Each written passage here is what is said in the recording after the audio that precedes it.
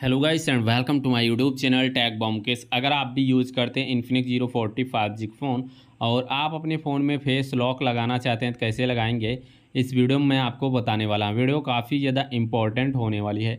सबसे पहला काम आपको अपने फ़ोन के सेटिंग में आना है। फ़ोन के सेटिंग में आने के बाद कुछ ऐसा इंटरफेस आपके स्क्रीन पे दिखाई देता है। सेटिंग में आप लोग आ जाइएगा। इसके बाद आप यहाँ पे थोड़ा सा नीचे आएँगे। बीच में है सिक्योरिटी नाम से ऑप्शन। आप सिक्योरिटी के ऑप्शन पे क्लिक करेंगे।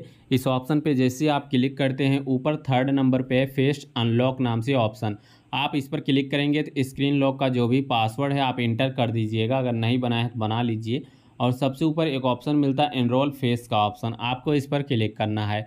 इनरोल फेस के ऑप्शन पर क्लिक करने के बाद आपको नीचे मिल जाएगा डन सॉरी, नेक्स्ट का ऑप्शन या स्टार्ट का ऑप्शन। आप इस पर क्लिक कर दीजिएगा।